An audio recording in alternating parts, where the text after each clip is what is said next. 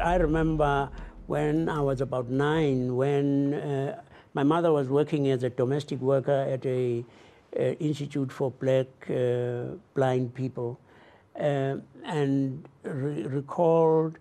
I didn't know him then, but I recalled this white priest in a in a long flowing cassock, doffing his hat to my mother, and I mean that struck me as being quite odd. A white man lifting his head to my mother, a black woman, and a black woman, not an edu- particularly educated, she is a domestic worker.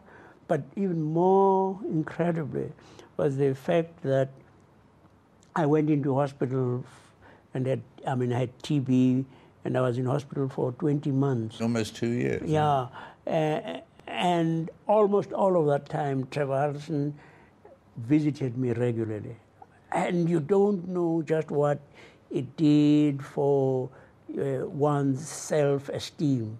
Here is an important white man coming to visit me and a, a township urchin.